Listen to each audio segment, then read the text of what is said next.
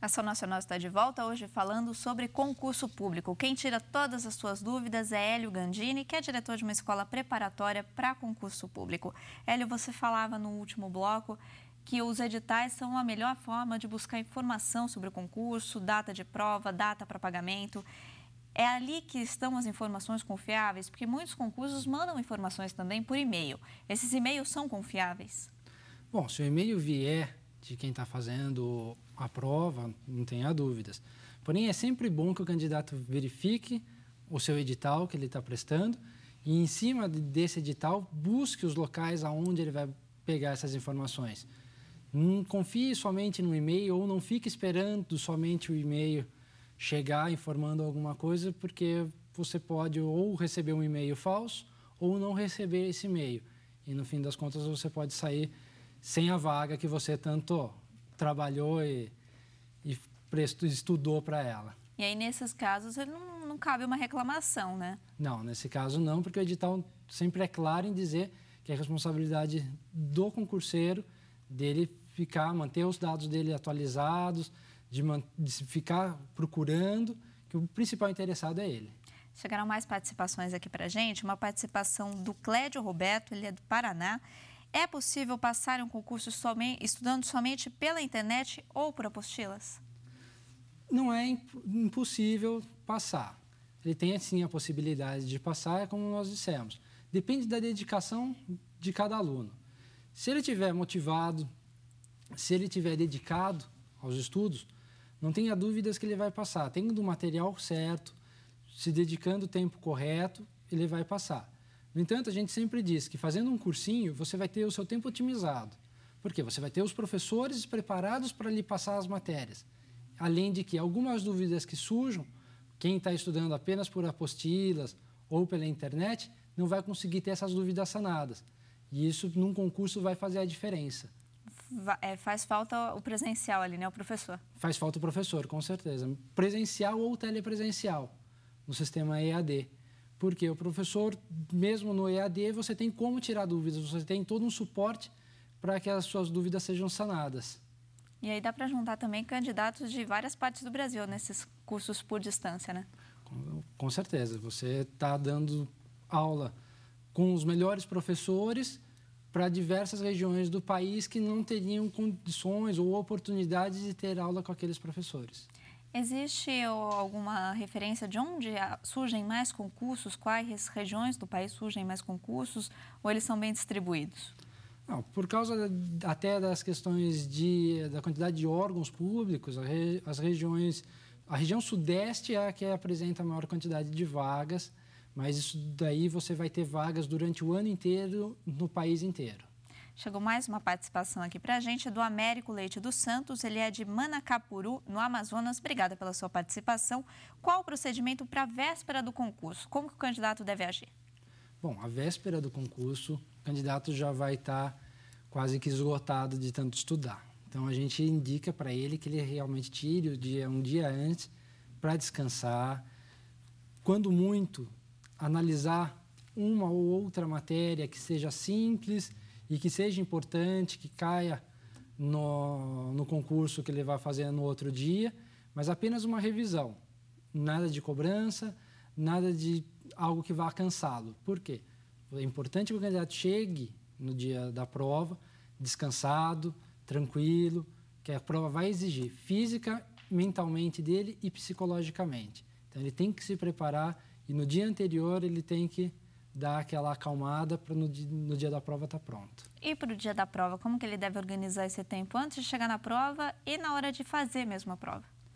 Bom, antes até da véspera da prova, é indicado que o candidato vá até o local da prova, conheça a sala, conheça o prédio onde ele vai fazer a prova, para que no dia da prova ele já chegue e já vá direto à sua sala. Não fique perdido, não perca tempo procurando e nem se preocupe com isso ele vá preparado só para fazer a prova, sem se preocupar com o restante. Especialmente se for em outra cidade, que é bem comum, né? Pessoas prestarem concurso em outras cidades. É muito comum. Como o concurso ocorre no país inteiro e você está prestando para uma área, é normal o concurseiro ir para outra cidade ou até para outro estado para prestar um concurso.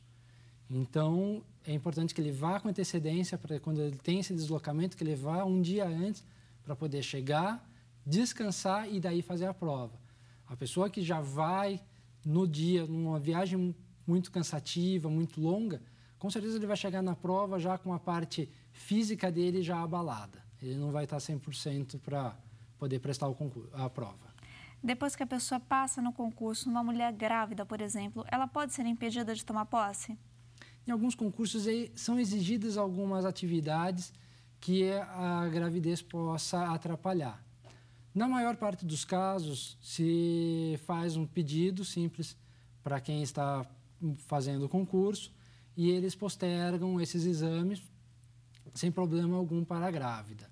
Porém, existem outros, como é o caso de carreiras policiais, onde são exigidas provas físicas e nos editais, em sua grande parte, é identificado que não haverá segunda chamada. Desta forma, eu, a gente aconselha que, caso a caso, seja feito um recurso, seja feito um pedido para a, a banca organizadora, de maneira que aguarde daí a decisão da banca. Uma vez que a pessoa passou também no concurso, ela tem como saber quando ela vai ser convocada e se ela vai ser convocada, porque existem os cadastros reservas também. Não, normalmente os editais não constam as datas para a convocação. Normalmente existem os números de vagas e aí essas vagas vão ser preenchidas durante o prazo de validade de um concurso que normalmente são de dois anos, prorrogáveis por igual período mas você não tem como identificar qual é a data que você vai ser chamado. Em relação ao cadastro de reserva, aí realmente só se houver a necessidade do órgão público. Uma pessoa que está inadimplente, que tem o nome consta lá no SPC, no Serasa, ela pode tomar posse em um concurso? Com certeza, não há nenhuma restrição com relação a isso, pois a questão de financeira da pessoa em nada vai interferir na capacidade dela para assumir algum cargo. Já houve casos de um banco onde o concurso público dele é, exigiu que a pessoa quitasse suas dívidas para que fosse empossado no cargo. Hoje em dia, isso existe até uma, um artigo da CLT que proíbe tal atitude. É ilegal. É ilegal. E uma pessoa que tem uma empresa, ela pode querer ser um funcionário público se ela tem uma empresa no nome dela? Desde que ela não seja administradora da empresa, sim. Desde que não haja algum impedimento no cargo, ela pode sem problema nenhum. A gente, o que é aconselhável é que o candidato verifique a legislação do cargo e veja nessa legislação se existe algum impedimento para que ela pertença a uma sociedade empresária. Normalmente não há qualquer impedimento. A gente está chegando ao fim do programa. Eu queria que você deixasse, então, Hélio, uma dica final para os concurseiros ou para os candidatos a concurseiros. Como é que eles fazem nesse período aí? Bom, para qualquer concurseiro e candidato a concurseiro, o que eles têm que ter em mente é dedicação e estudo. É ler muito, é estudar muito, é procurar tirar suas dúvidas, é pegar no pé de professor quando estiver no cursinho, para poder realmente atingir sua vaga o mais rápido possível. A dedicação vai valer a pena depois que passar no concurso. Não tenha dúvidas. Muito obrigada pela sua participação hoje aqui na Ação Nacional. Eu que agradeço. A gente fica por aqui. Obrigada pela sua participação também, pela sua audiência. Uma boa noite para você.